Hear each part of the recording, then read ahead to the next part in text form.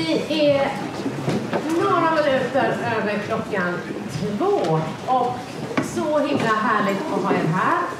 Varmt, varmt välkomna till Foja. Eh, vi är några här som har värmt upp med diskussion över Lund som var superspännande.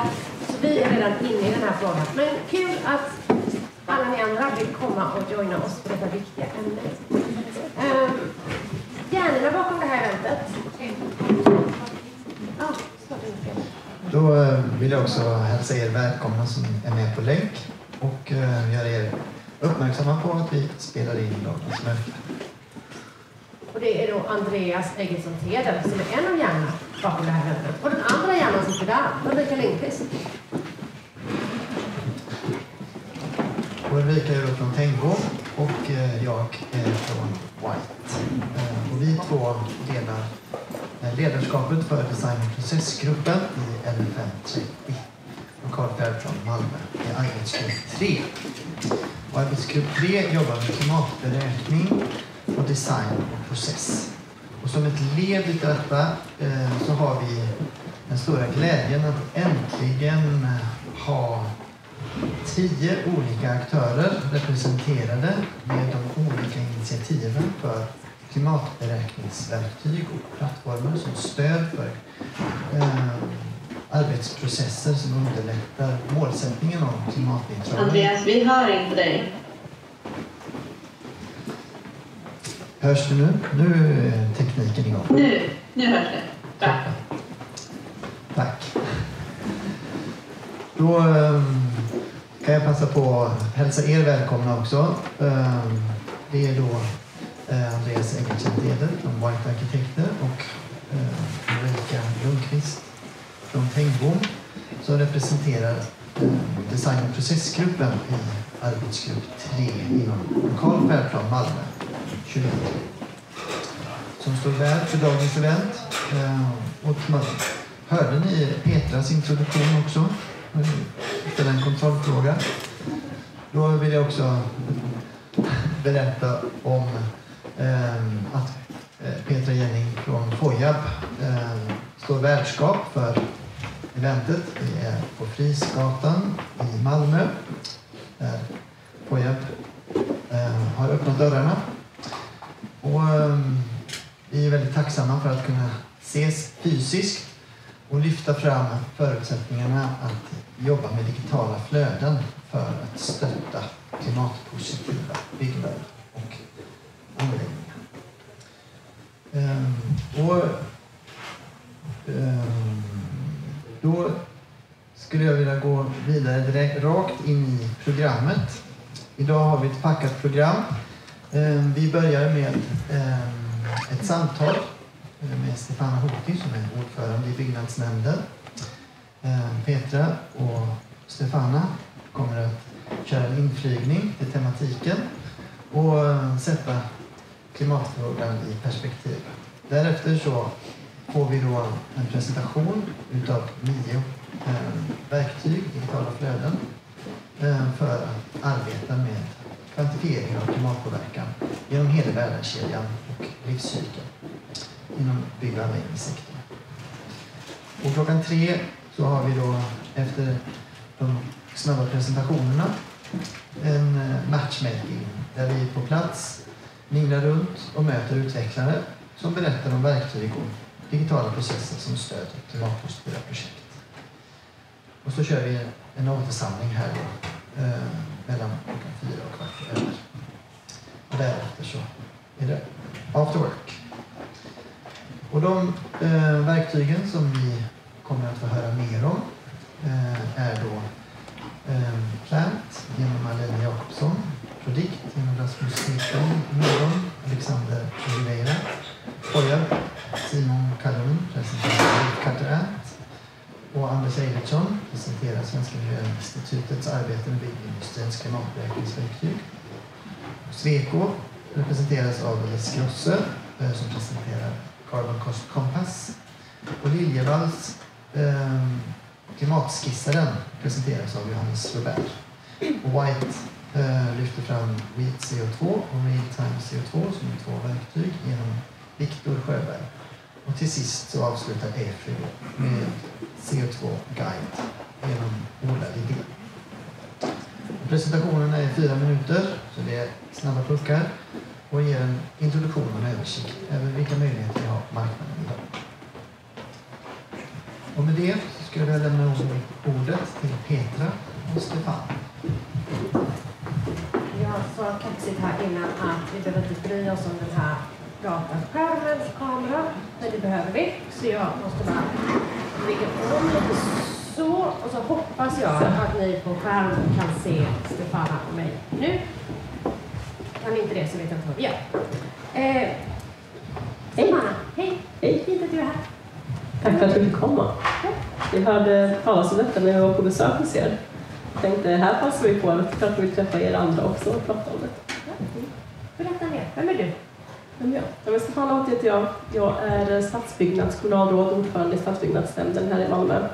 Men eh, min politiska resa, ja, det är tio år nu, eh, inte som heltidspolitiker de senaste fyra åren, men egentligen i den sociala politiken framförallt. Jobbat mycket med jämställdhetsfrågor, eh, barnens rättigheter, eh, mycket dialog, eh, inte minst i stadsbyggnadsprocessen när vi hade stadsområden och stadsdelar. Det väcker ju alltid stort engagemang vad som ska hända i vår stad. Men rent politiskt, jag är då representant för Miljöpartiet här i Malmö också och suttit i tekniska nämnden tidigare så det var liksom den vägen och varit vice ordförande i servicenämnden tidigare så liksom sakta kommit in på det brukar handla om lite hårda frågor. Och jag tänker det som egentligen är mest spännande med det här uppdraget, nu känner jag lite kronan på verket, att liksom äntligen få gifta ihop eh, de traditionellt hårda frågorna liksom, med de sociala frågorna. För vem är det vi bygger staden för egentligen? Och nu är vi hela tiden i den skärningspunkten mellan eh, klimat, miljö, sociala frågor, eh, målkonflikter som uppstår och hur vi liksom tillsammans kan lösa det. Kan vi, kan vi, kan vi bygga en hållbar stad? Och vilka frågor då är viktigast då? Eh, det tror jag absolut, annars vet jag inte vad jag gör om dagarna. Det måste man ju våga tro och lita på att, att det går att göra. Jag tycker eh, vår största fokus är ju eh, det är definitivt klimatfrågan högst upp på, på agendan. Klimat, miljö och social eh, hållbarhet skulle jag säga. Det är liksom de stora paraplyer. Eh, jag tänker eh, minskade utsläpp eh, definitivt. Det finns ju så många sätt liksom, att göra det på. Det ni håller på med här idag är en jättestor viktig del av det. Vi vet 20 procent av våra utsläpp kommer från byggbranschen. Och det löser vi inte själva bara liksom, på kommunnivå utan det är just det här samverkan kommer in. Och att kunna ta fram metoder och byta kunskap tillsammans. Eh, vi har ju ambitioner för att så småningom kunna ha hela klimatkvarteret här eh, i Malmö och kunna ha ett helhetstänk, att gå från klimatneutrala byggnader till vad, vad händer om vi tänker liksom på kvartersnivå, liksom allt från eh, konsumtion till rörelsemönster, mobilitet inte minst eh, i staden. Eh, Sen tänker jag alltid att klimat och miljö behöver gå hand i hand, så det är ju mycket kring de gröna frågorna. Hur gör vi med Eh, med biologisk eh, mångfald. Hur får vi till en grönare stad? Hur får vi mindre hårdgjord yta? Hur ser vi till att det vi planerar och bygger också det är klart att vi har många tekniska frågor att lösa, liksom, men så här, hur kan en eh, liksom, dagvattenhantering också tillföra helt andra värden liksom, som går att njuta av det här och ta del av det och kanske umgås eller uppleva liksom, en vacker miljö. Så de frågorna. Och sen inte minst, var vad gör det om vi bygger hållbart och vackert och människor inte har råd att bo i de här husen? Liksom. Så hur någonstans kan vi utmana varandra och hitta liksom, olika incitament för att också satsa på den sociala hållbarheten? Det är liksom Små, små enkla frågor. små, små grejer i systemet. Ja, precis. Ehm, Som byggnadsnämndens ordförande den här mandatperioden, är det liksom något särskilt sådär som har seglat upp som är nya frågor? Och har ni hanterat det på ett annat sätt nu? Eller är det liksom business as usual? Eller vad vrider ni på? Det har bubblat upp lite, lite frågor, eh, inte bara nu, men liksom jag jobbat med det ett tag, men som blir tydligare också för mig. För att något vi, ofta vi som miljöpartister kan bli kritiserade för, ni kommer alltid liksom på de så här konkreta lösningarna, prata mer om vad vision, vad vill ni uppnå? För era lösningar kan ju liksom vara lite, lite jobbigt att ställa om ibland. Liksom. Så här, jag bara, ah, vad är jobbigt? Vi pratar ju om liksom ökad livskvalitet och bättre hälsa och att liksom, era barn kommer ha det bättre i framtiden, liksom, att vi, vad vi lämnar efter oss och eh, att det ska bli smidigare, liksom, att dela mobilitet och liksom, mer gemenskap. Så här, vadå, alltså, så här, på vilket sätt? Och så märker vi liksom, aha, det är att vi hamnar ofta i hur vi beskriver det, i de tekniska lösningarna. Så här, ja, men, eh, ni ska ha mindre bil istället för att prata så här, ja, men vi pratar om hur vi kan dela hur vi kan ha mer pengar i plånboken för att slippa betala för något som står still 90 procent av tiden. Liksom så här, hur man pratar om saker hur vi lägger fram till och vad är det egentligen vi vill åstadkomma. Och någonstans kokar det ner till en ökad livskvalitet för Malmöborna och en jämlikhet i det. Uh, oavsett vem du är, var du kommer ifrån, att kunna hela tiden ha en jämlikhetsperspektiv i livs... Och det kan handla om, om hälsa, att minskade utsläpp också, vad, vad det leder till, att vi bor och lever i hus som är, som är hållbara och som håller oss friska och håller länge. Liksom. Så, så det är livskvalitetsperspektivet väldigt mycket. Och sen kultur och stadsbyggnad har blivit en sån bubblare. Uh, det är liksom vi för att ha en stad folk vill flytta, bo till och verka i liksom, behöver vi ha det här sociala kittet och liksom, det livet i staden som sker med kulturutövare och kulturkonsumtion. Uh, eh, och samtidigt får vi ha ett väldigt rikt sådant uh, kulturliv, men också utmaningarna som kommer med förtätning och liksom haft ett väldigt högt tempo i byggandet hur gör vi också för att undvika att gentrifiera eller för att bygga bort möjligheter för kulturen eller för att använda dem bara som ett verktyg. Det är så här, ja, vi lockar hit till de nya områden som ska byggas för att det här är hippt och häftigt att ta del av och sen så höjer vi hyrorna och ni får inte vara kvar. Uh, så att hitta liksom de här värden vi vill bibehålla i staden och samtidigt liksom hålla takt i, i omställningen. Och den tredje grejen skulle jag säga är dialogen, den är ju ständigt pågående och vi har såklart verktyg med samråd och annat. Men hur kan vi förädla den?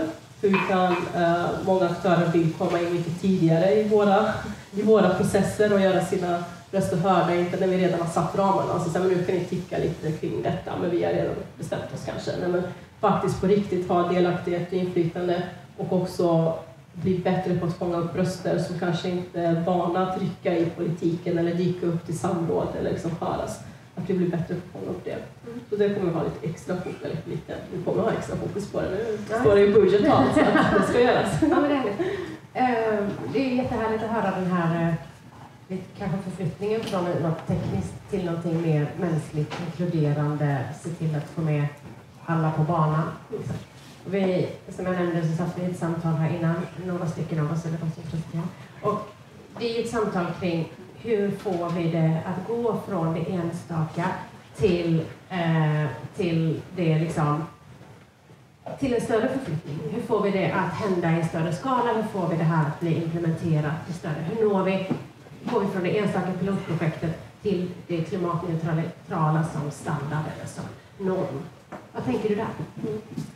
Eh, jag tänker att eh, mitt kontor börjar nog redan tröttna på mig för de har hört mig säga det sedan dag ett. Liksom Okej, okay, det här är jättebra. Alltså, vi har jobbat i så många år, alltså också rent politiskt, för att eh, det har inte varit en självklarhet att vi ska jobba med de här frågorna. Alltså, det har varit väldigt nischat till att gå till att vara en självklarhet att jo, jo, men vi ska jobba med det, vi behöver jobba med det. Vi har bra beslut på plats, vi har strategi för klimatneutralt byggande, vi, våra beslut grundar sig att det ska vara i linje med Parisavtalet, vi ska vara klimatneutral organisation. Malmö stad till 2030 och på hela Malmös geografiska yta så ska vi minska med 70 procent liksom, eh, utsläpp. Så besluten finns ju där, politiken finns ju där, men nu är det så här efterlevnaden av den. Och som jag säger, det är jättebra, jag åker jättegärna till Sigge Park och kollar på klimatneutrala uh, mobilitetshuset. Liksom.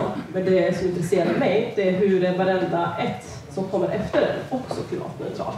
Men nu är de såhär, ja, nu ska vi utvärdera och så ska vi kolla. Och så ska vi... Jag bara, men kunskapen finns ju. Vi är inte de första som har byggt det här. Alltså stor respekt för att det inte är så enkelt och det kommer jag säkert få höra här idag, liksom, när ni som sitter och klurar till vardags och vrider och vänder och försöker liksom, lösa de här frågorna. För mig som politiker är det, den viktigaste frågan om vi på riktigt menar 2030, mm. då kan vi inte bygga bara på flaggprojekt eller liksom enskilda pilotprojekt, utan jättebra, hur tar vi med oss de lärdomarna och skalar upp det eh, gemensamt. Och där tänker jag mycket varför jag är här idag också. Jag tänker att nu pratar jag, men sen vill jag ha stora öron och höra vad ni har att säga och vad ni har för tankar och idéer. Vi har liksom planmonopol och markmonopol. Liksom, och genom det tänker jag att vi kommer kunna ställa krav. Mm. Eh, men det kan inte bara vara piska, det måste ju vara morot också tänker jag. Så det är någonstans måste gå hand i hand och det är den dialogen och samverkan som vi har, inte minst inom för L530 med klimatomställning Malmö, klimatkontrakt Malmö.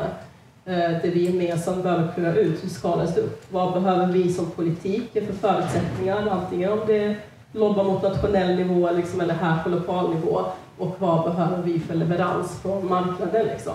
Eh, så för om man ska nå de politiska målen betyder det att egentligen alla kommande projekt som kommer på stadsbyggnadsnämndens bord kommer jag ju behöva ställa mot så här, okej, okay, kommer det här ta steget närmare klimatneutral 2030? Om det inte gör det, då blir det inte business as usual längre, utan det här måste vara det nya sättet, normen som vi gör saker på. Men mycket kommer att grunda sig i att dela den kompetens och kunskap på de slutsatserna som ni kommer fram till behöver ju liksom komma mycket bredare till branschen eh, och både till offentliga och privata sektorn, tänker jag, för att vi ska kunna nå en framfart där. Finns det en risk att det är 2030 står och pekar på att det går för fort, att vi inte får med folk på banan. Går det att göra en snabb klimatomställning, som vi ju måste, Eh, och så samtidigt försäkra oss om att vi ska bygga en bra stad, en hållbar, liksom en, en stad för alla, en inkluderande stad.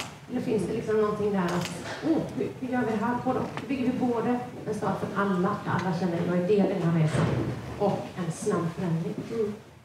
Det brottas vi mycket med, liksom, för vi brukar säga att alla ska med i omställningen, ingen ska lämnas efter. Det sociala perspektivet eh, kommer, kommer in mycket. Men jag tänker, liksom, jag också har en övertygelse om att när man jobbar med klimatomställning, oavsett vilka roller vi gör det, det är ju egentligen kanske den största utmaningen, en av de största utmaningarna vi som mänsklighet möter och det kan vara ganska överväldigande och lite läskigt. Men jag är mer också men vi får inte vara handlingsförlamade inför den uppgiften för att vi jag tänker styrkan är att vi är många. Styrkan är i vår mångfald, i våra olika kompetenser, våra olika erfarenheter och perspektiv som vi ta med oss. Och är det någonting som kan förena och komma samman, det är när man har en gemensam utmaning att lösa. Och sen tror jag inte att det skadar heller att många av de här gröna lösningarna är också väldigt trevliga lösningar. Alltså det blir ju en grönare och skönare stad att leva och bo och verka i. Liksom. Uh, ju grönare tänker jag vi gör både fysiskt och både det som inte ses som möjligt tekniska lösningar men faktiskt i de miljöerna vi skapar för Malmöborna som liksom bjuder in till återhämtning, avkoppling. Eh, vi, det är egentligen det offentliga rummet och mellanrummen också som vi skapar mellan de här byggnaderna kan skapa en jämlikhet och utjämna att vi tar del av vår stad på, på liknande sätt och upplevelser för att allt inte handlar om ren konsumtion. Och de frågorna tänker jag, jag brukar säga att vi behöver en eftertanke, att det vi gör, hur får vi in många funktioner som samsas, alltså blir mer effektiva på det sättet hur vi använder mark och när vi väl gör någonting, hur gör vi det med med bra kvalitet. Så både en eftertanke men också en omtanke för vem vi gör det för. Så tror jag att vi, när vi hjälps åt att göra det så går det hand i hand. Ja. Um, tänk er att liksom, vi har en, en, identitet kring vilken stad vi har och var, vilken stad vi bor i. Och den identiteten för Malmö var industristaden och varvet och och sen så gick det över i att vi fick en identitet i kunskapsstaden Malmö. Eh, vi fick högskolan, vi fick Öresundsbron och Törntorps och hela den eran. Liksom. Är vi på väg in i en ny berättelse och en ny identitet för Malmö? Och är hållbarhet i så fall kanske kärnan i den berättelsen? Eller hur, vad, är, vad är berättelsen för staden framåt? Mm. Mm många frågar mig vad är vision? Vad är vision? Alltså, det är ingen brist på politiska ambitioner. Alltså, ny översiktsplan kommer snart. Det är liksom några hundra sidor av väldigt tydlig politisk ambition man vill se för vår stad. Det tror jag snarare som säger berättelse från varvstad, industristad, kunskapsstad, parkernas stad. Bra PR. Det, vi, kan, vi kan bli det. Jag tycker inte riktigt vi är där, men vi kan, vi kan bli det. Liksom. Uh, så tänker jag, ja, jag uppfattar att många är redo för en ny berättelse. Men jag ser också att den berättelsen måste vi skapa tillsammans. Eh, det är den berättelsen vi skriver nu. Vi är mitt uppe i och jag tror att omställningen, hållbarheten, eh, rättvisan, liksom, oavsett om det är klimaträttvisa, social rättvisa, är liksom de bärande orden. Sen hur vi formulerar den, det är liksom, jag känner att vi är mitt, mitt uppe i, att det är det vi gör gemensamt i de här möten vi har och skapar fram. Eh, och att det är det som är Malmös styrka någonstans. Det är den här bröllop lyfta mångfald och brokighet, liksom en del av identiteten och den behöver komma samman. Så jag tror vi är redo för, för en ny eh, berättelse. Jag tror att vi håller på att skriva den just nu. Mm. Gud vad Jag tänker i så fall att det kanske är lite, liten bit i den berättelsen vi skriver här nu. Mm. Um, tack Stefana. Tack så jättemycket. Superhärligt. Um, så kommer stora...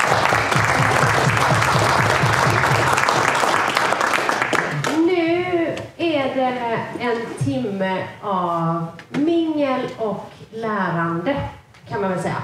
Vi har eh, olika stationer eller olika bord eller olika rum. Eh, ska det hända något först innan detta? Jag lämnar över till eh, Alina. Ja, förlåt. Jag har glömt bort det helt. Vi bara bryter där. Nu är det, nu är det presentationen. Det är bra att vara. Ja. Ingen fara. Ska jag dela min skärm då kanske? ja, gör det. Super. Ska vi se om vi lyckas.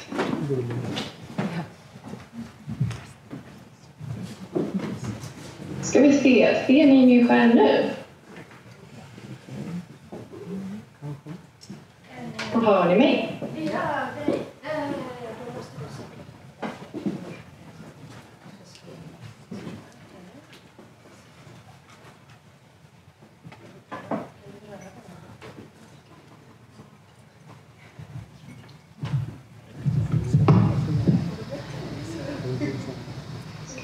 vi se, fungerar det inte dela?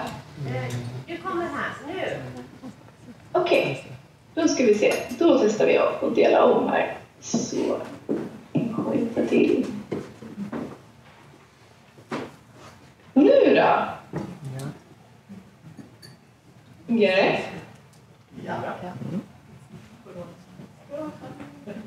Ser ni min skärm? Ja, jag ser själv. Ja, men perfekt. Då så. Ehm, ja, men kul att vara här. Alina Jakobsson heter jag. Jag är jätteglad att vi får vara med digitalt. Hade inte möjlighet att vara med i Malmö idag, även om jag bor där till vardags. Ehm, men jag jobbar på Plant, jag jobbar som hållbarhetsstrateg och jag ska berätta om oss och vad vi gör idag. Ehm, ska vi se om vi lyckas byta också. Ja, perfekt. Ehm, det här är Plant, det här glada gänget. Vi är ett mjukvarubolag. Vi bygger mjukvara för klimatberäkningar. Vi gör också klimatberäkningar av kunder och stöttar kunder med eh, rådgivning både i projekt och eh, för bolag. Eh, och därför består det här glada teamet då av både vassa utvecklare och eh, grymma eh, specialister på klimatoptimerat byggande. Eh, och Plant, vi jobbar ju med klimatberäkningar från 3D-modeller. Att kunna beräkna effektivt blir ju första steget för att vi också ska kunna jobba med att optimera effektivt. Eh, och vi räknar från, från modell, vilket gör att vi importerar modellerna, eh, projektets 3D-modeller, BIM-modeller, in i vår mjukvara och vi gör mängdavtagning eh, och klimatberäkning i samma verktyg. Eh, det här ger ett väldigt effektivt eh, sätt att eh, granska och återkoppla till projekt. Granska på så sätt att vi har väldigt bra kontroll över att vi verkligen räknar alla byggdelar. Vi kan se, har vi fått med alla ytterväggar, alla delar av grund, grundplattan med i beräkningen till exempel, vilket kan vara lätt att missa om man gör mängdavtagningen utan. Eh, Det är också jätteeffektivt för återkoppling i och med att vi kan highlighta och visualisera vad som driver klimatpåverkan i projektet eh, för projektgruppen och på så sätt eh, ha en bra dialog med projektet. Vi kan räkna alla BIM-modeller. Eh, Vi ställer inga särskilda krav på specifika parametrar eh, eller så.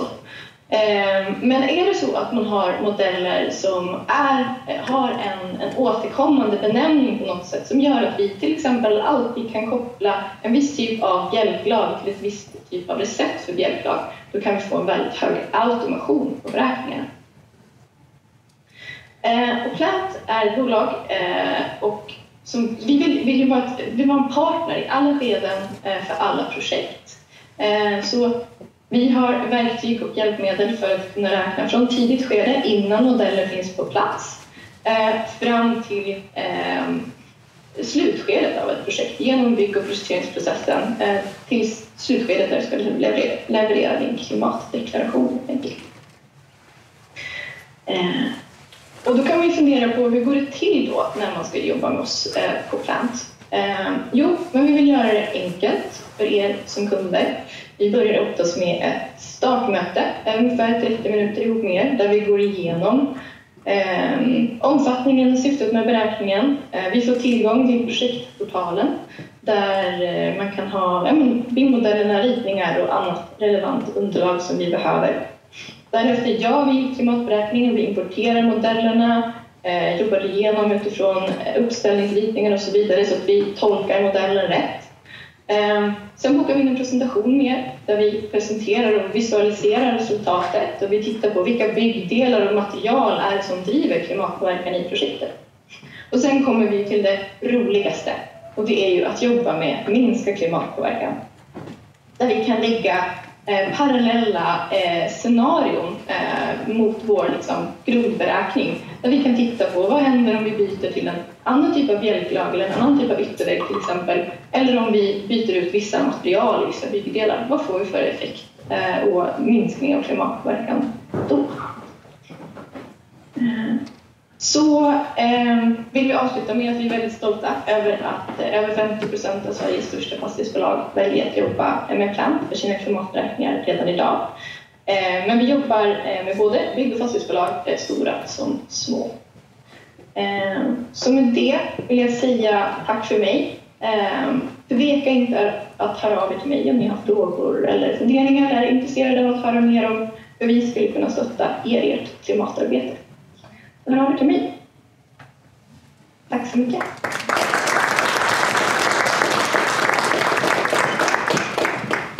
Då går vi raskt vidare i programmet.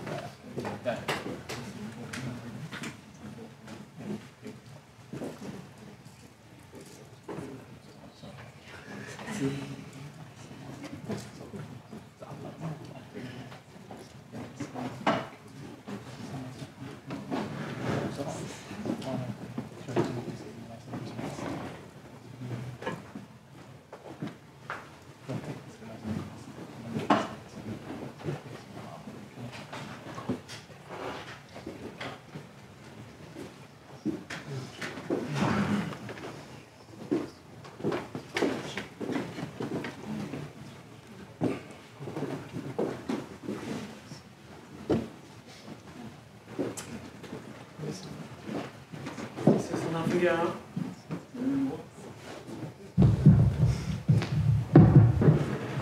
Gött. Ehm, ja, ehm, då är det Rasmus Ekberg, Prodikt, som har fyra minuter på sig att förklara varför Prodikt är något att få tillgång till. Ehm, börjar med egentligen att fokusera 30 sekunder på vad det som egentligen gjorde att vi kände att en plattform till var det egentligen behövde. Ehm, jag har jobbat 20 år i byggbranschen. Det kanske var ja, en utmaning att säga att en till är det vi behöver. Men det finns vissa utmaningar som inte vi har kommit till rätta till. Vi har en byggprocess idag som är dyr att jobba med hållbarhet. Den är rätt så komplex. Vi har svårt att jobba med hög eh, kvalitet på information. Och vi tappar mycket fart längs med vägen längre ut vi kommer i projektet. I andra ändan av den här utmaningen så har vi en industri som faktiskt är de som ska leverera de produkter vi ska bygga in i våra projekt. De står också för utmaningar. De ska hantera alla de marknadskrav som vi ställer vid certifieringar och dylikt. Men vi behöver hitta modeller som gör att de kan driva sin produktutveckling, sina innovationer på ett sätt som gör att de får tillbaka pengarna det de har investerat. Så, vad var det vi tyckte vi behövde? Vi behövde en respons, vi behövde produkt, tyckte vi. Vi behöver faktiskt ha möjlighet att kunna jobba med klimatpåverkan på produktnivå. Ska jag ha ett golv så vill jag inte ha det i kubik. Ska jag ha ett undertak så vill jag inte ha det i topp. Vilket är den enheterna vi kanske jobbar med utifrån den dokumentationen som finns idag. Vi behöver ha informationen digitaliserad så vi kan följa den från en förstudie hela vägen ut till förvaltning. Vi behöver hålla tre tankar i huvudet samtidigt. Ja. Vi behöver kunna jobba både med klimat, cirkularitet och hälsa parallellt. Vi behöver också se till så att vi kan göra det ihop. Att det inte blir en specialists roll att driva frågan. Så, det är detta vi gör. Vi försöker säkra ett bra informationsflöde som vi distribuerar egentligen till byggbranschen och byggprocessens olika aktörer i olika format beroende på vad man önskar och var man befinner sig. Om man jobbar med sin BIM-modell tidigt, sent, då gör man det. Vill man jobba med kalkyl, då gör man det Vill man ha en klimatdeklaration, då får man det. Vill man ha en loggbok, då får man det. Så skapar vi värde egentligen när man skapar ett sånt här dataflöde. Vi engagerar alltså hela industrin in i plattformen som produktifierar sin hållbarhetsinformation in i produkt. I andra änden står användare av plattformen och konsumerar den informationen.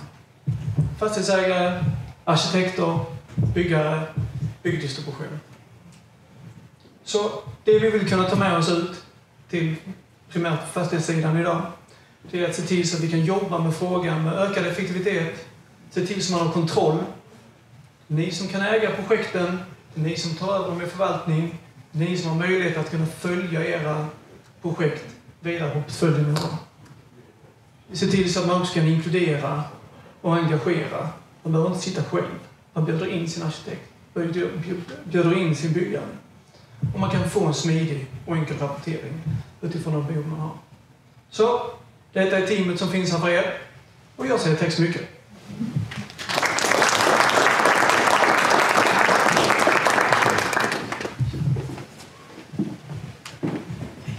Hallå på er! Oh, hej, hej. Eh, Alexander heter jag och jag är från Nordon. Ska vi se här, det bara klicka vidare. Eh, Nordon är ett eh, klimatoptimeringsverktyg för tidiga skeden. Eh, vi gör att vem som helst kan reducera klimatpåverkan redan innan man har en kalkyl eller en BIM-modell på plats. Eh, här har vi ett litet citat från eh, en hållbarhetsspecialist på NCC som säger att Nordon är den saknade pusselbiten i deras klimatarbete. Och ja, men, de, jag tror det måste vara en av de första i Sverige som har lyckats få ner 54 procent av klimatpåverkan i en betongkonstruktion med hjälp av vårt verktyg. Det är vi väldigt stolta över. Så varför ska man använda Nordon då? Det finns så himla många fina verktyg. Eh, delvis är det att Nordon är helt oberoende. Du behöver inte jobba med en viss konsult eller arkitekt eller så. Du kan använda det tillsammans med vem du än väljer att upphandla i ditt projekt.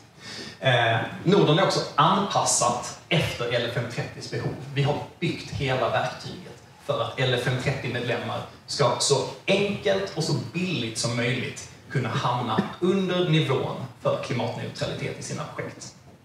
Eh, det innebär att ja, men ni får korrekta eh, tidiga beräkningar redan i förstudien. Och som jag sa, man behöver inte ens ha en BIM-modell på plats eh, eller en materialkalkyl. Det är också ett väldigt pålitligt beslutsunderlag som ni får.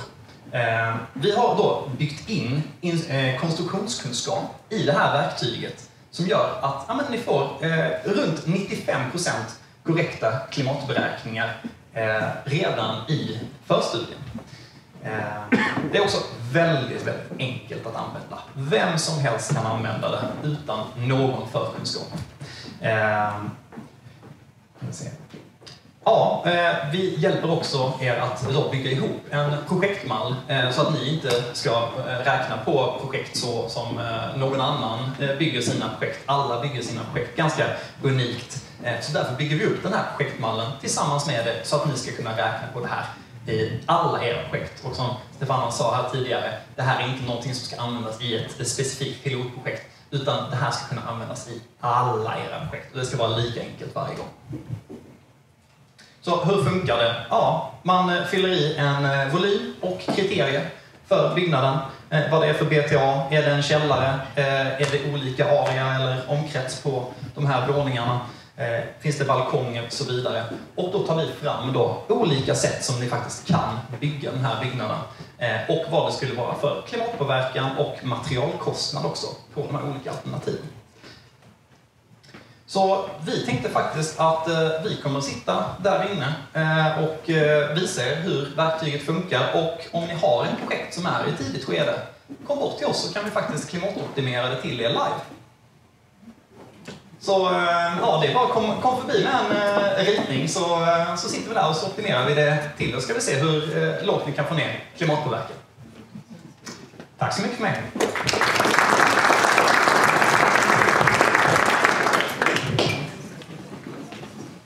Hej hej!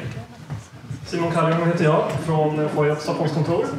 Yes. Eh, vad FOIA, när vi jobbar med hållbarhet, så är en av de viktigaste sakerna att vi jobbar med eh, helheten i byggnaden.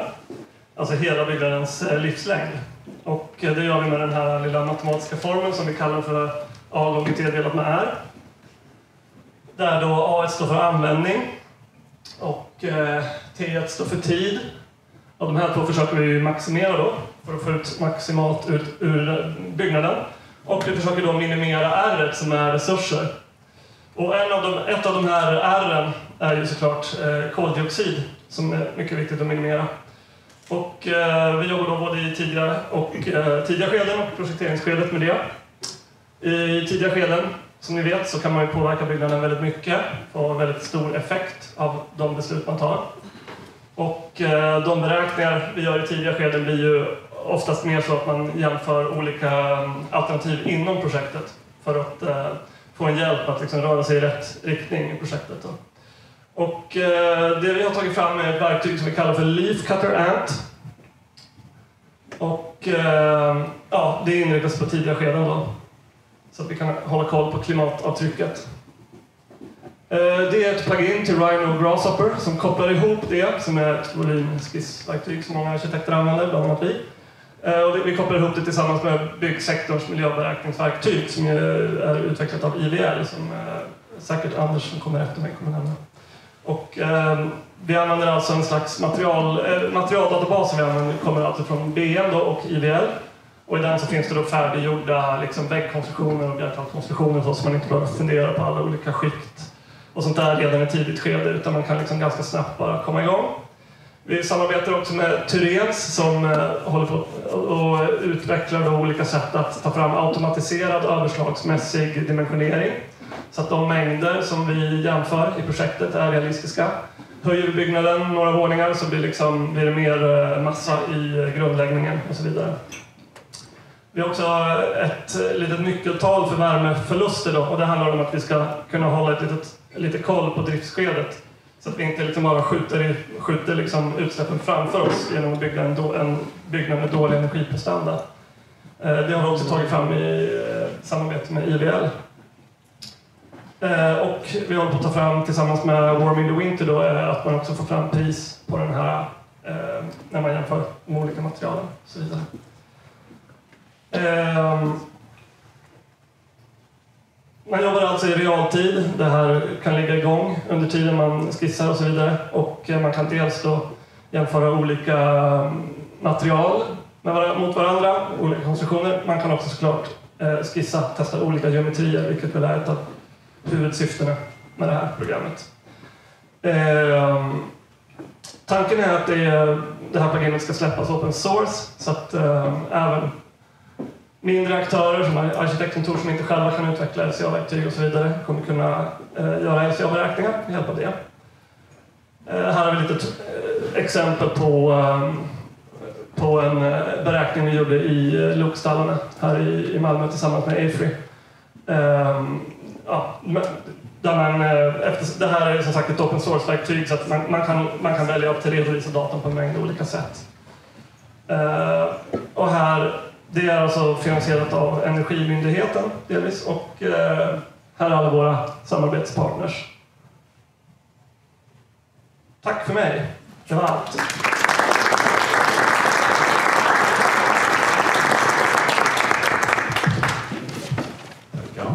Där hörs jag. Ja. Uh, då ska vi se här. Så. Uh, Anders Evertsson heter jag. Eh, jag jobbar på IVL, Svenska Miljöinstitutet. Och där jobbar jag jättemycket med eh, materialfrågor. Eh, allt ifrån egentligen teknisk specialist till affärsutvecklare, projektledare och sådär. Uh, jättemycket kopplat till BM och klimatberäkningar jobbar jag med. Eh, och jag har en fusklapp här för de här förbaskade fyra minuterna som... Här. Ja, ska stå? Här. Ja. Står jag här? Ja, jag står. Eh, byggsektorns miljöberäkningsverktyg har du nämnt. Eh, det är det som vi, eh, vårt verktyg. Det är ett eh, enkelt och rudimentärt, vad som säger, pang på-verktyg och så vill vi att det ska vara. Eh, och då måste jag ta fram min fusklapp här.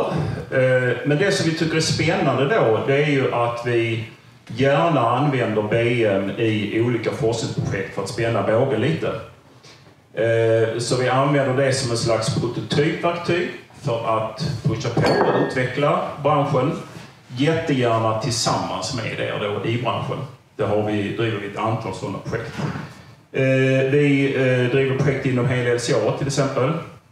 Vi släpper hela LCA under våren i BM, men vi vill inte bara ha liksom enkel eh, Eh, eh, funktionalitet, utan vi vill ju utveckla någonting riktigt bra. Och det ska inte vi utveckla, utan det ska ni utveckla.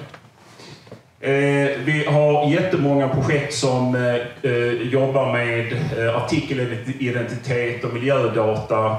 Det har nämnts här innan, det tror vi också är en nyckel framåt. Vilka EPDer är det faktiskt som vi pekar in och hur gör vi detta? Och hur sker den här utvecklingen?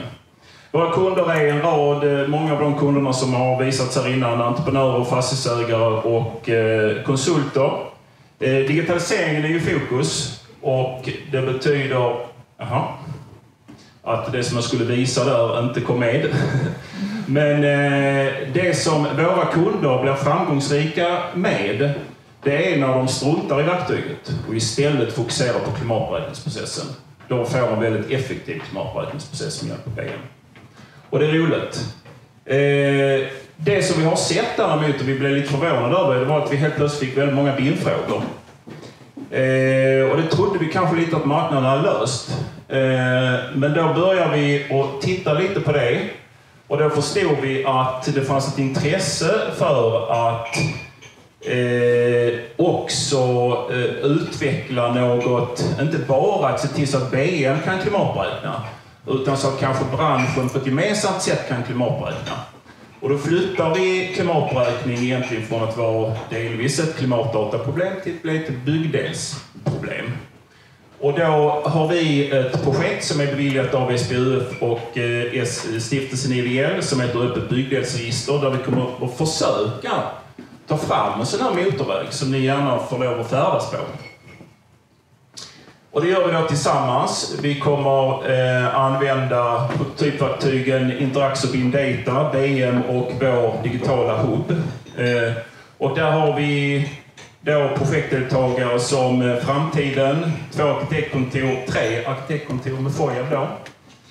Eh, och vi har ett antal eh, entreprenörer. Och här är det ju väldigt, väldigt spännande för att här betyder det att man kommer ha helt olika krav på klimatberäkning i, från de här olika aktörerna.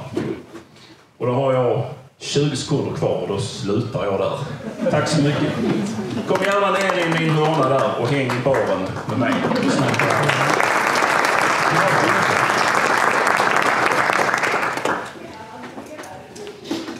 Vi har någon ny här.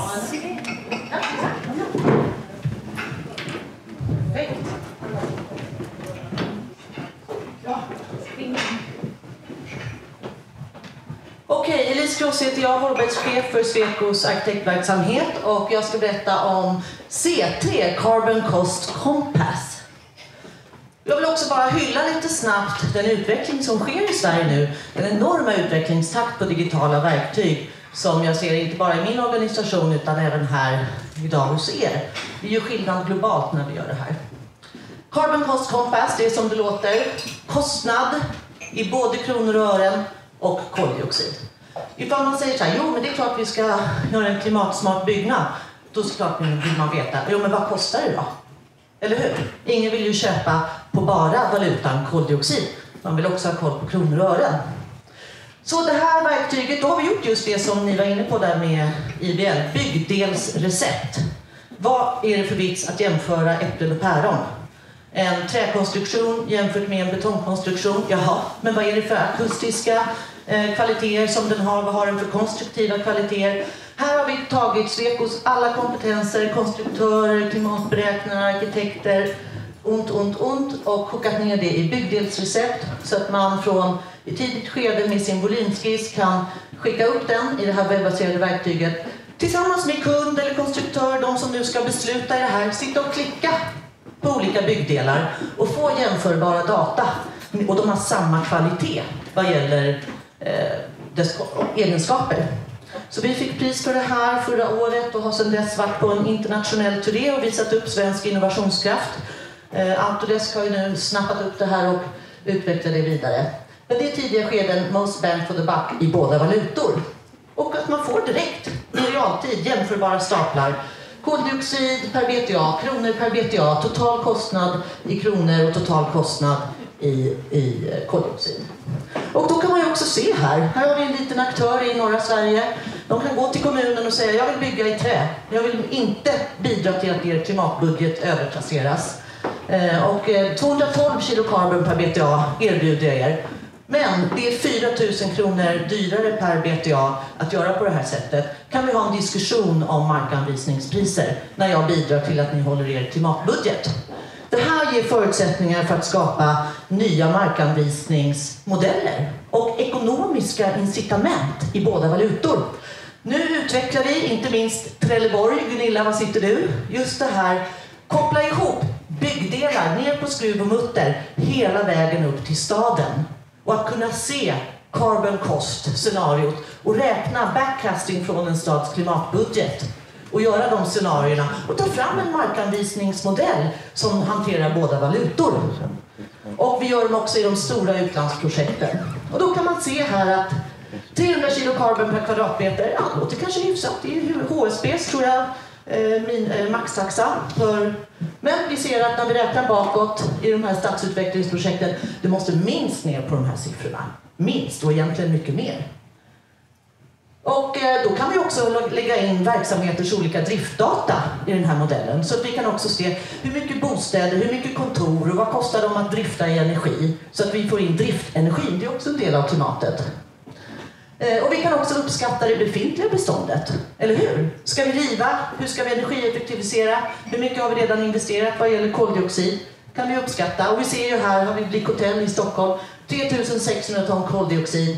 Men genom att vi bevarade så otroligt mycket så sparade vi 120 miljoner kronor i materialinköp.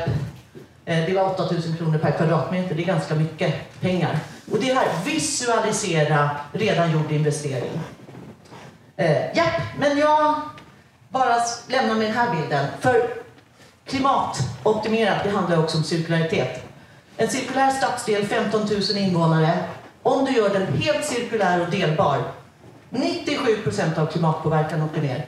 75 procent lägre energibehov och en miljard mindre hälsokostnad. För att vi går och cyklar och äter mer vegetariskt. Tack för mig.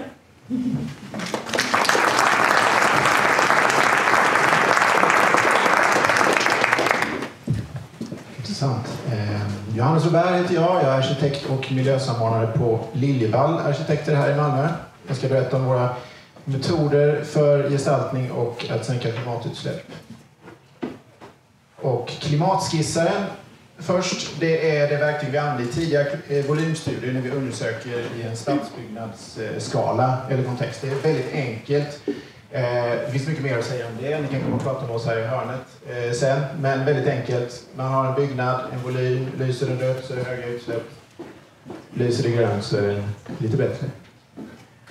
Man kan använda det i stora sammanhang med väldigt många olika byggnader som kan vara konstruerade på olika vis och sen få, ett klimat, eh, få ut klimatutsläppen från det i byggnadsmaterialen. Klimatanalys, det är det verktyget som vi använder eh, i BIM-modellen. Och det är BIM-modellen som vi har med oss under större delen av processen. Eh, och vi jobbar gärna i samma modell från skiss till färdig bygghandling och relationshandling. Och det fungerar så att vi har lagt in de flesta byggmaterial vi kan tänka oss i våra mall när vi ritar våra nya hus.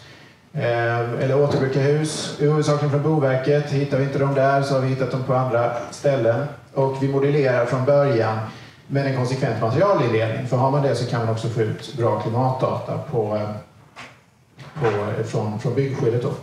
Eh, och, eller i alla fall en rimlig materialindelning för när vi börjar med eh, objekt som vi har i ett stort bibliotek utav olika byggdel, byggdelar i ett bibliotek som, som, som vi då kan bygga vårt hus med. Och det består till eh, största delen av byggnadsmaterial som är homogena men vi har också gjort en väldigt mycket byggnadsmaterial som är sammansatta. Om man till exempel har en tegelvägg med bruk så modellerar vi inte både tegelstenarna och bruk utan vi måste ha ett sammansatt material för det. Eh, så vi har som sagt ett stort bibliotek utav väggar, tak, bjälklag, dörrar och fönster.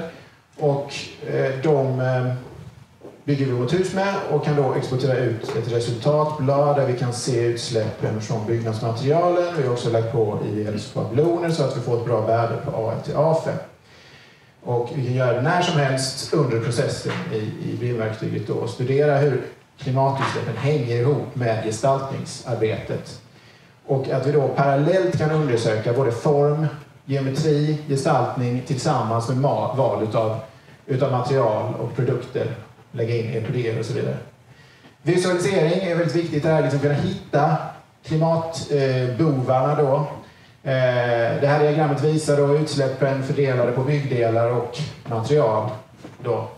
Eh, vi brukar också ge förslag på hur man kan sänka utsläppen genom att klippa ner de här staplarna med olika eh, materialval och olika eh, val av system. Och hittills, kanske blygsamt, har vi har klimatanalyserat ungefär 30 projekt av 10 olika byggnadstyper, så vi har en viss jämförelse där. Vi har ambitionen om att klimatanalysera betydligt fler projekt för att få ett grepp om liksom, vårt företag och de projekt som vi jobbar med, eh, vilken klimatpåverkan de har. Och, men ändå de som vi har, har klimatanalyserat så kan vi ändå skönja en, en positiv trend mot eh, 2030 och eh, eller 2030s eh, mål om noll, nollutsläpp där. Och vi har lärt oss väldigt mycket på, på vägen med det. Så jag lämnar över till nästa. Tack så mycket.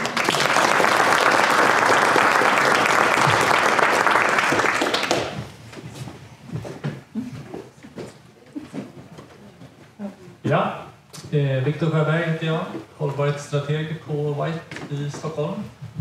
Jag ska prata om klimatpåverkan i designprocessen, eh, fokus på projekteringsskeden och verktyget Real-Time CO2. Vi har sett lite processbilder här idag. Eh, när vi driver projekt går vi från förstudie genom program och vidare in i projektering och produktion. Eh, och ni ser de här grå fälten där det är aktiviteter kopplade till klimatpåverkan. Vi gör ju ofta klimatbudgetar i tidiga skeden eh, och sen går vi vidare i klimatberäkningsskedet när vi projekterar eh, för att förfina beräkningarna för att se till då att vi når de uppsatta målen i budgeten. Eh, på White har vi tagit fram digitalt stöd för de här olika delarna i processen. Så att när vi gör klimatbudget tar vi fram ett verktyg som heter Weet CO2 där vi utvärderar eh, skisser, eh, får reda på klimatpåverkan men också kostnader samtidigt. Eh, och sen när vi går vidare in i BIM-projektering så har vi verktyget Real-Time CO2 som jag ska berätta lite mer om. Men vi kommer dela båda de här verktygen sen idag. Eh, på White tror vi på en lösning som förenar designprocessen med klimatberäkningar, klimatavtrycksfeedback på föreslagna materialval och gestaltning behöver ske genom alla skeden, antingen genom ett verktyg eller en kombination av lösningar. Och vår lösning då för projekteringsskedet, Real-Time CO2, ett webbaserat verktyg för att beräkna projektets klimatpåverkan i projekteringsskede kopplat till en Revit-modell. Vi har utvecklat det här tillsammans med Autodesk och eh, det är ett verktyg för den ritande projektören. Om vi ska beskriva arbetsflödet i fem steg. Man förbereder och strukturerar sin BIM-modell och öppnar den i real-time CO2. Man analyserar den automatiserade mängdningen och materialmappningen. Lägger till eventuella omodellerade objekt och eh, klimatbalanseringsstrategier. Sen kan man utvärdera projektets klimatavtryck och därefter kan man byta ut och jämföra material så att vi då kan iterera fram nya resultat. Och så här ser det lite mer ut, eh, arbetsvin i verktyget. Eh, här kontrollerar man mängdningen och ser till att materialmappningen har blivit korrekt. Man kan också klicka runt, byta ut eh, eh, byggdelar och kontrollera att klimatpåverkan går åt rätt håll. Det finns också en resultatvisualiserare i verktyget där man kan kontrollera på ett enkelt sätt var finns klimatbovarna. Det här går sedan att exportera vidare resultaten och fungerar som underlag till en klimatdeklaration. Så, tack för mig.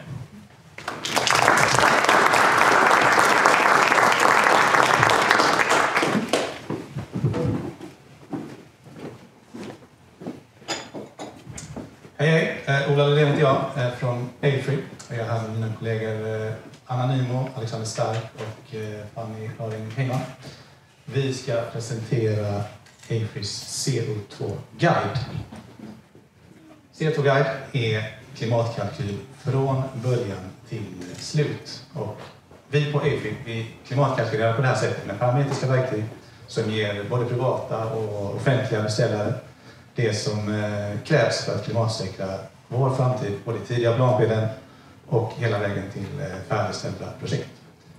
Kalkylerna kan vi också jämföra med data från eh, tidigare färdigställda projekt för att eh, få en kontroll. Och erfarenheter från nya projekt återförs också till den eh, databas som vi har. Vi ser om vi lyckas byta blad också. Ja, våra verktyg omfattar hela byggprocessen för arkitektur och konstruktion, landskapsarkitektur och anläggning och även geoteknik. C2 Guide hanterar egentligen alla typer av samlade mängder, sammansatta byggdelar och ner till eh, enskilda komponenter. Och dessutom eh, tar det hand om uppdrag av CO2 under eh, driftsskedet. Man kan få en, en direkt feedback under designprocessen och det har vi dessutom tack vare den underlagsdata som C2 Guide är baserad på. Det är databaser som hanterar byggkostnad på omkring en femtedel av Sveriges byggprojekt kombinerat med eh, data för klimatpåverkan vilket ger både tillförlitliga och exakta kalkyler. Och eh, därigenom så får vi också en kostnad då för varje klimatoptimering som föreslås. Den här datan den använder vi i eh, tidiga skeden med hjälp av parametriska verktyg som kopplas till våra databaser så kan vi visualisera konsekvenserna av den föreslagna byggnadsstrukturen för att då kunna ta korrekta och faktabaserade beslut om vilken inriktning som är den mest gynnsamma för projektet. Vi har även möjlighet att jämföra olika förslag mot varandra för att se respektive förslags fördelar och nackdelar. Här tittar vi då inte enbart på klimatpåverkan utan även andra viktiga designparametrar som dagsljus, buller, kostnad Eh, och vi kan lägga på ytterligare parametrar som dagvatten och ytanvändning, tillgång till grönstruktur för effekten av olika mobilitetslösningar. Och eh, sammantaget så hjälper vi då vår kund att ta rätt hållbara beslut tidigt i processen. CO2-guide för eh, byggnader är direkt kopplad mot vår modell och det ger en snabb återkoppling på hur byggnaden kan klimatoptimeras. Vi kan exempelvis jämföra olika stolsystem, fasadmaterial, enskilda byggdelar och göra klimatdeklarationer på detta på hela eller delar av modellen inklusive då jämförelsen mellan olika alternativ och hur dess klimatverkan ser ut. Vi har även ett verktyg för eh, markkonstruktioner som omvandlar statiska data från geokalkyl, vilket är en beräkningsmodell som EFRY tillsammans med Sweco tagit fram för Trafikverket. Och det handlar bland annat om kostnad, koldioxidavtryck och massbalans att få ett interaktivt verktyg som då möjliggör och redovisar vilka delar av ett infrastrukturprojekt som har den största koldioxidpåverkan på det sättet. För landskap och anläggningsprojekt så möjliggör CO2 Guide en klimatberäkning som ger en uppskattning av projektets totala klimatpåverkan eh, och identifierar också stora utsläppsposter och visar på effekten av de klimatförbättrande åtgärderna. Vi kan också visa effekten av tillförda kolsänkor på grönstruktur och till exempel biokolsinblandning i växtsubstrat och överbyggnaden.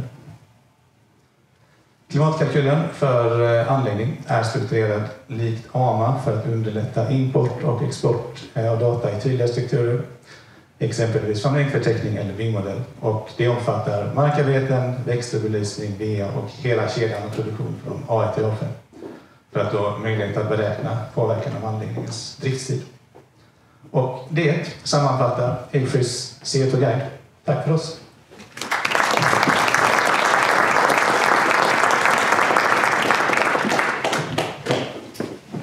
Nu ska jag säga det jag började säga eh, eh, Stort tack allihopa! Shit vad vi kan, eh, tänker jag när jag sitter här och lyssnar.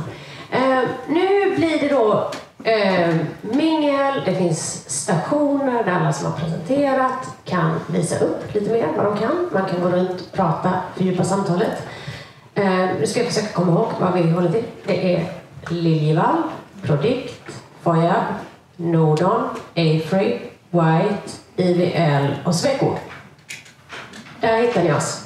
Eh, om en timme ungefär så samlas vi åter här. Det blir ett litet samtal eh, med Andreas, mig och Stefana. Och det finns också lite möjlighet att ställa frågor till Stefana och så om man vill efteråt. Ehm, och sen när vi väl har kommit så långt så kommer det finnas något att dricka till. Nu kör vi! Nej.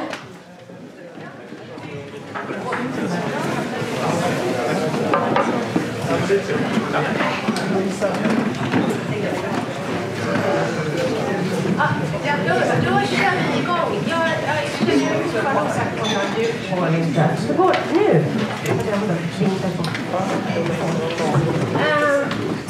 Så, eh, så härligt. Jag kände så här, ah, men shit, det kommer bara dö ut det här samtalet. En hel timme kan vi inte gå runt här.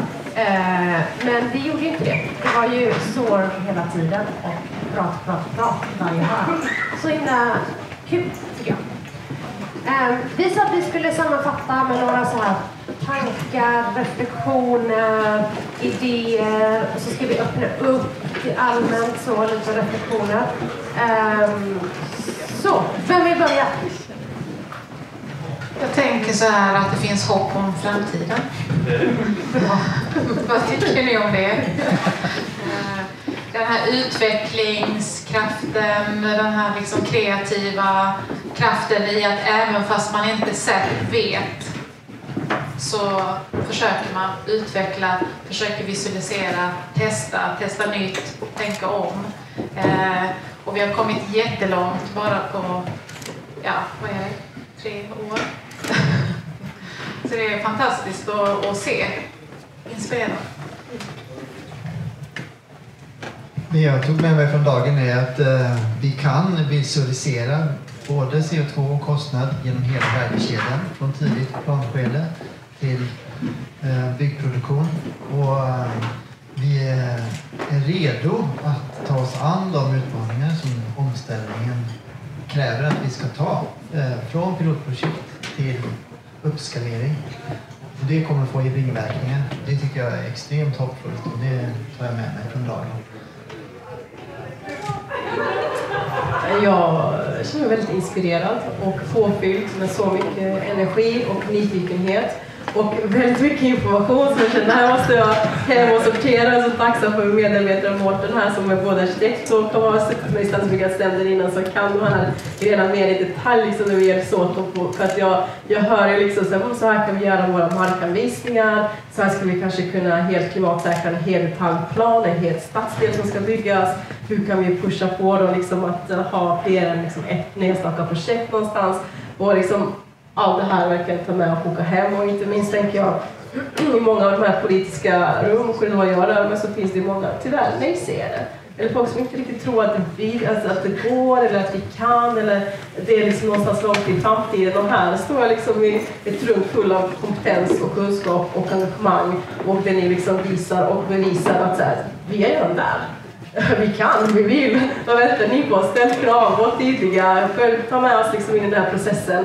Och då vill jag ju så gärna göra, så nu tänker jag, då blir liksom mitt jobb att komma hem och få med mig eh, och ha en förflyttning, liksom skapa förutsättningar för att vi ska mötas i många olika rum och i många olika projekt och se till att vår stad blir grönare och hållbarare eh, mycket snabbare.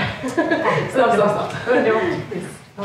Men jag tycker att det är så himla härligt att vi som normalt sett kanske är konkurrenter och kanske lite så, det här håller jag på, det här har vi gjort och så. Ställer oss här tillsammans ändå och säger, herregud, frågan är större än vad vi är som enskilda. Eh, vi gör det här tillsammans, vi lär av varandra, vi inspirerar varandra och tillsammans så kan vi bygga något större. Eh, och att jag vill verkligen att vi fortsätter i den andan. Eh, och vi har kommit jättelångt på några år, men vi har en jättelång väg framför oss. Och att vi verkligen håller det, den krokar arm och gör, gör det tillsammans. Jag tror inte vi kommer i mål som enskilda. Och hur fortsätter det här samtalet då? Mm. Vi har eh, en röst som eh, har en idé om eh, hur vi kan ta byggdelarna vidare. Jag vet inte om jag behöver... Eh... Hör ni mig? Ja. ja. Eh, jo, eh, vi kör det här projektet upp byggregister då och där har vi ett antal aktörer med. Fastighetsägare, eh, arkitekter och eh, en rad entreprenörer. Där kommer man kravställa på en teknik för att göra byggdelar, både ganska specifikt och ganska schablonartat, tillgängliga på marknaden. Och eh, den, diskussion, den diskussionen börjar i nästa vecka när vi startmöte. Och eh, vi tar gärna och berättar om detta och tar in krav också från er, de aktörerna här, som inte själv vill pyssla med byggdelar bara. Eh, så att det är från eh, vår projektsida så eh, samverkar vi gärna med er och tar ett nytt möte kring det. Om ni vill prata byggdelar med oss och K-glas och K-bilder och allt vad det nu är för någonting som ska kopplas och vilka egenskaper som ska kopplas till byggdelar så att vi kan utnyttja dem. Det gör vi såklart gärna. Vi har ett lokalt initiativ men med de här samarbetena så kan vi ta branschen framåt en, en nationell standard då, och se till att alla får tillgång till de här förutsättningarna. Det är så vi ska leda. Har vi några reflektioner på alla er andra om dagen? Vilken innovationskraft! Fantastiskt! Alltså, det ger ju verkligen hopp om framtiden.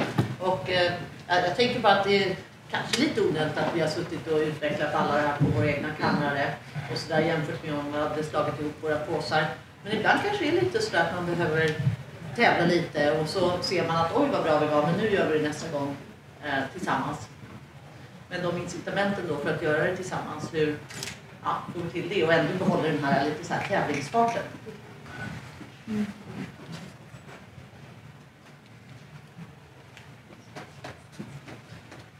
också så här fullstoppad av information. Alla bara alla måste lägga sig för nästa steg.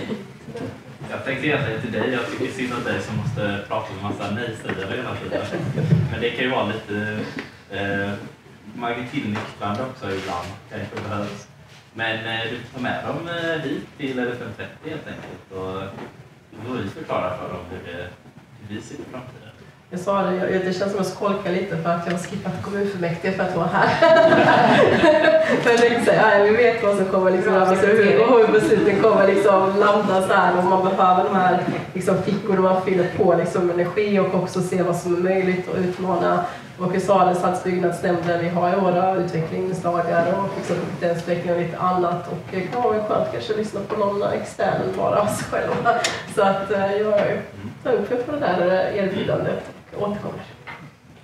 Ja, bara en sån reflektion. Ja, Viktor har ju representerat oss då i LFM30 som en, är det någon som svarar på varför är det Malmö liksom som har, har blivit rädd för den här och ligger i framkant? Och jag tänker det är en lite ledande fråga för i det så ligger kanske det alltså, som är Malmös nya identitet, att det finns någonting i denna stan som är, ja, men, har de öppenhet. Jag vet inte vad det är som gör att det är just Malmö, just i denna frågan, liksom, som har tagit stafettpinnen. Men det kanske är en intressant liksom, tankegrej att se vad, och, och man kan hitta den, vad är det då liksom, och bygga vidare. För jag tror att det kommer sen till men, social integration och allt det där. Allt det är ju mycket mer sammanflätat, men redan där i har tagit taktpinnen kanske mycket av svaren finns också.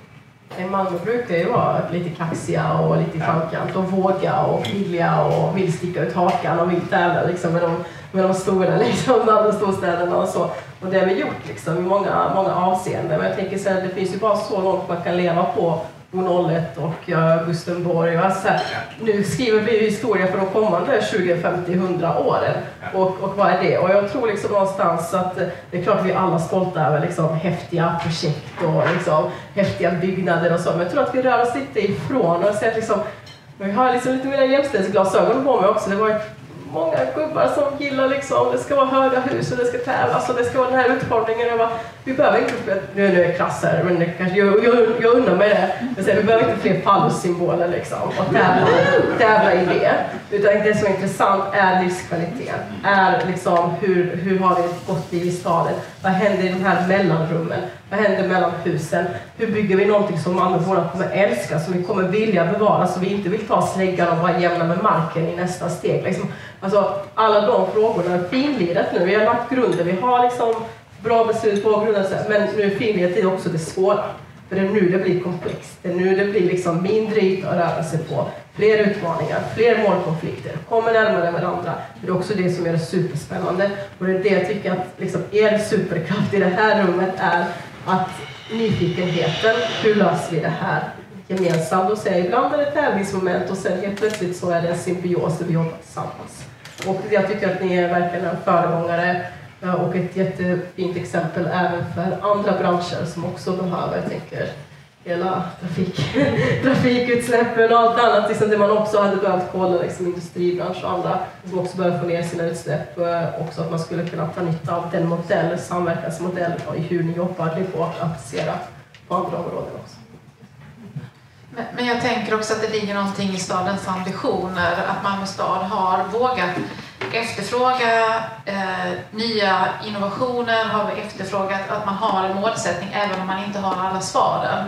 Att man har liksom lyft upp och sagt att här måste, nu måste vi göra någonting. Men det handlar ju kanske också om Malmös demografi, att det är en ung befolkning, vi har en framtidsanda, eh, men kanske också i geografin, att Malmö ligger där det, där det ligger. Och jag tror att, att Bo fortfarande har svallvågor, för det har gett ett kontaktnät och besökare till Malmö som har gjort att Malmö har också varit på världskartan när det gäller hållbarhet och hållbar utveckling. Och det har gett oss möjligheter att vidareutveckla det kontaktnätet.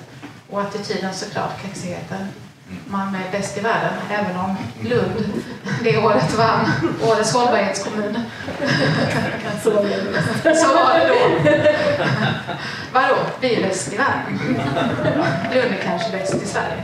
Men eh, jag tror med attityden, att våga, våga utan att man vet var man eh, landar.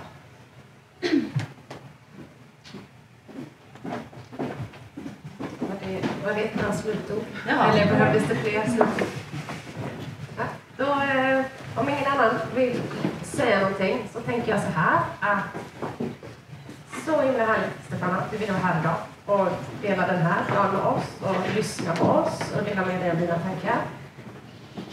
Elefant 30, vad fantastiska ni är eh, och tack för att ni dragit igång det här initiativet och ni gjorde detta idag. Tack till er för värdskapet och initiativet och inbjudan. Eh, för de som vill så finns det nu uppdukat lite dryck av olika sorter borta på baren. Ehm, det finns lite snacks och så kan man liksom fortsätta prata om den här frågan eh, i lite så lättsamma former. Ehm, Mm. Och tack till alla som kom hit. Ja, alla, alla besökare och alla som visade upp sina eh, utvecklingsverktyg och eh, möjligheter.